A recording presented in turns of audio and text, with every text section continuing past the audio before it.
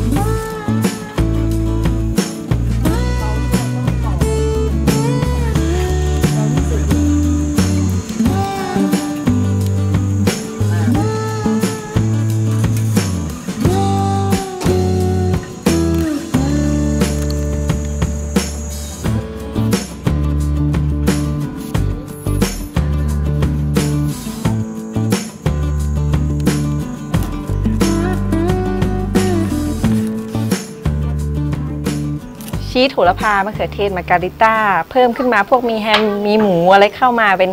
พวกฮาวายเอียน ทะเลทูน่าอย่างเงี้ยค่ะ พวกหน้าปลาเค็มหน้าแปลกๆเนี่ยค่ะเขาพยายามเอาเข้ามาเพื่อให้เรา